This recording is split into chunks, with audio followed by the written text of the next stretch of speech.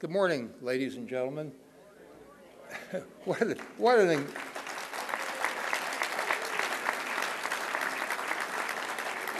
what an incredible crowd when, when Carol and Jacob and, and Bonnie uh, came to me for, for the, the first time in planning this event.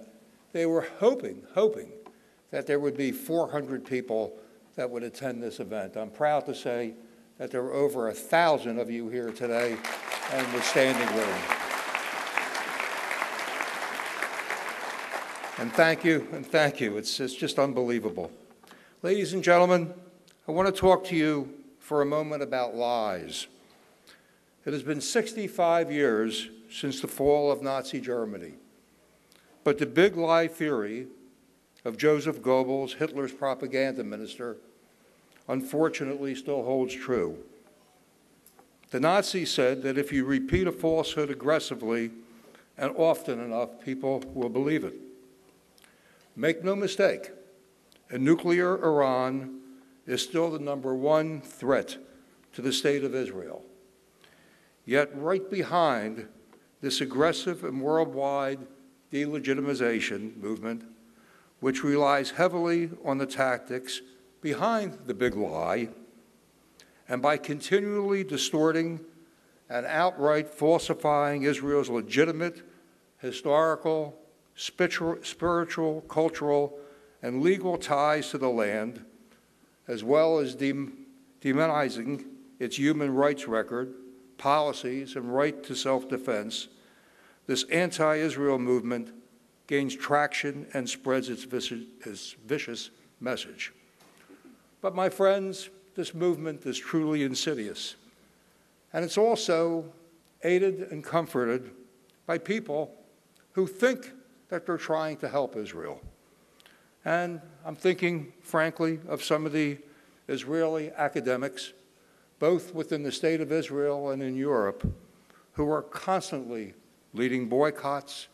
For example, the university boycott in England is led by Jews. And just last week, 150 Israeli academics signed a petition asking other academics to boycott the Israeli city of Ariel because it sits in the so called West Bank.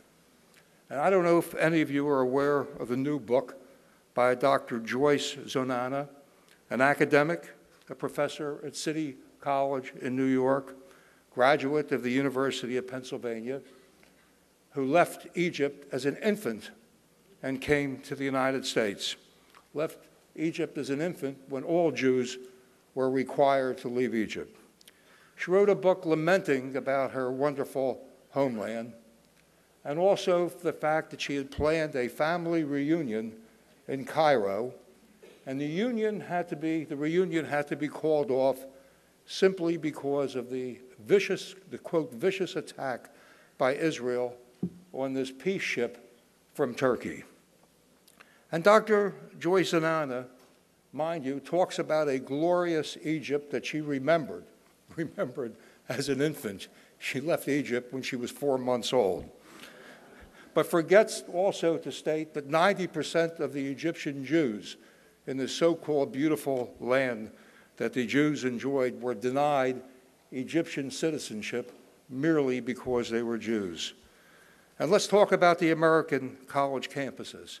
What happened at the University of California in Berkeley and at Hampshire College. I may say also aided and abetted and led by Jewish students and also Jewish academics as well. And there are organizations that we've heard of the Jewish Voice for Peace. There's an international Jewish anti Zionist network that has branches in 15 countries, in 12 cities here in the United States, and incredibly enough, includes some Holocaust survivors. We have, we have others. We have people, respected people, that we've all heard their names. Alisa Solomon, Tony Kushner, Adam Horowitz, Philip Weiss, Noam Chomsky, and of course, Norman Finkelstein, who one of our distinguished speakers, uh, Alan Dershowitz, uh, will probably mention in his remarks. These are people that have undermined and undermined the state of Israel. They've added fire and fuel to the efforts to boycott Israel, to try to de- delegitimize the state of Israel. But what can we do? And what can we do about it?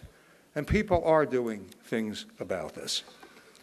Good people, and people like you, are fighting back against this campaign and making a true difference.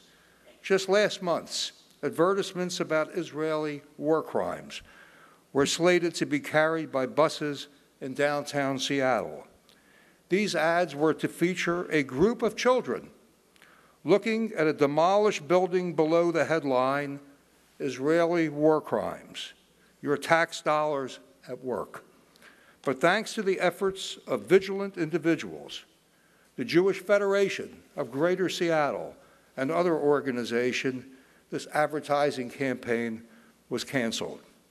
The people in Seattle knew what they needed to be done, and they did it. It is a stark lesson in what is possible when good people come together against this insidious campaign. And the best thing that we can do is to stand for Israel and to be with the people of Israel. And I'm proud to say that along with my good friend Sabi Behar, aided by Maxine Schwartz, we hope to be taking close to 1,000 members of our community to Israel as part of our federation's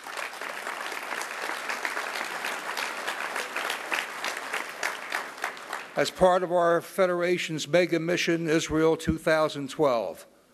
Let us all stand together as a people, not just here, but next year in Jerusalem, and always, I hope everyone in this room will join us for this mission.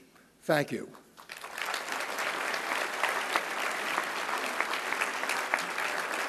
It is now my pleasure to introduce the other co chairman of this event, Michael Adler. Michael?